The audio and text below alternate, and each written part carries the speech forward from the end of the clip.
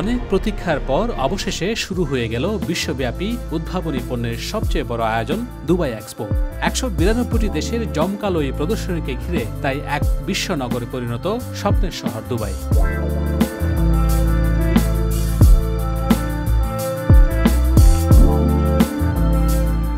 শুধু কি বাণিজ্য?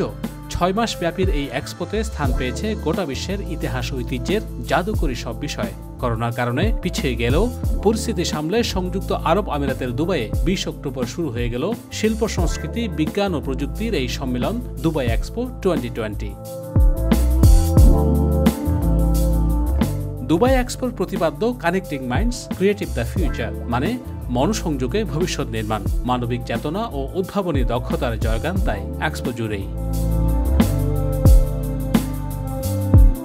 আল মাকতুম আন্তর্জাতিক বিমানবন্দরের কাছে চার দশমিক তিন আট বর্গ কিলোমিটার জায়গা জুড়ে বসেছে এ আসর। আর উদ্ভাবনে মানুষের কৃতিত্ব উদযাপন করতে দুবাইয়ে একত্রিত হয়েছে প্রায় পুরো বিশ্ব।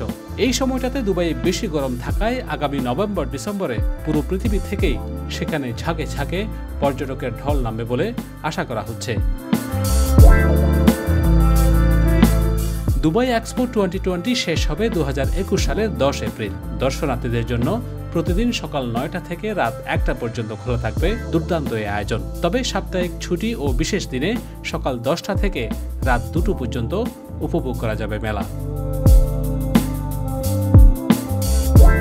Shahnaz Riton, Mahanagar news desk.